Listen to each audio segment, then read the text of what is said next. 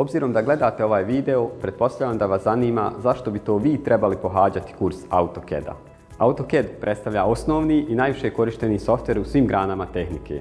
Od arhitekture, mašinstva, elektrotehnike, građevine, geodezije, pa sve do projektovanja sistema zaštite na radu i sistema zaštite od požara.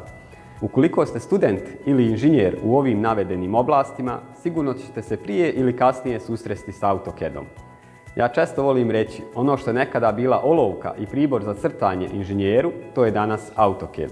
Ja sam Adis Mumnović, doktor tehničkih nauka iz oblasti mašinstva, docent na Mašinskom fakultetu u Sarajevu. Pozivam vas da mi se pridružite u sklopu 11. generacije kursa AutoCAD na Akademiji 387.